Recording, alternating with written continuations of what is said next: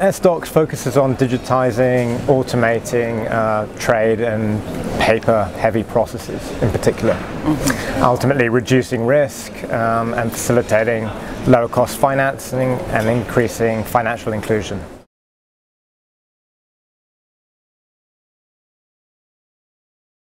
I think regulation has been creeping up year on year for the last five years. We have KYC heavy requirements, and we have know your client's client.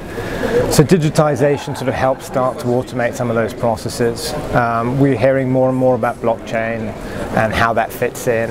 And, and all these new technologies help, again, push for digitization. Uh, they're, they're, enabling technologies um, to benefit visibility and, and, and process improvements once you've digitized uh, the original part of the process. So whether it's challenges, I think I look at it more as opportunities.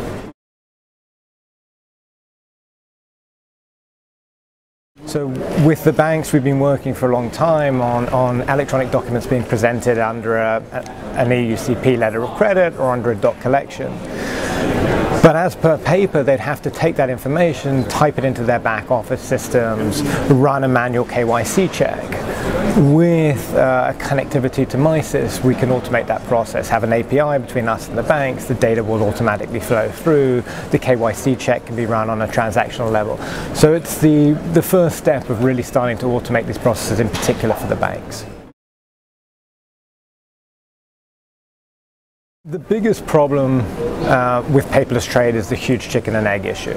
I need exporters who want to be paperless, but they need their carriers to be paperless, they need their banks to be paperless. And the banks don't want to sign up until they have enough of their customers who are paperless. So overcoming that chicken and egg issue is for sure for us the biggest issue. We've been working, we've been operational since January 2010, and we will hit critical mass in our very first industry only by the end of this year. It's taken a lot of time, a lot of uh, dedicated customers who wanted to drive paperless, who recognized that, that paperless is a project. It's not, um, it's not a solution that I can get out of the box. I need to start on a project and it will be a multi-year project. And in the first instance, you need to digitize, and once you've digitized, you can start to automate. And we're starting to see more and more of that happening with our customers. They've digitized one part of the process, maybe 100%, and another part of the process, maybe 10%. So how do I take that second part and digitize it to 50%, to 90%? So if you have the right customers who recognize that the end goal is hugely beneficial to, to themselves and their supply chain partners, the compliance benefits, the visibility benefits, the operational benefits, and of course obviously the financial benefits, and you have that bigger buy-in, uh, then eventually you'll get people moving in the same direction. But it takes a long time.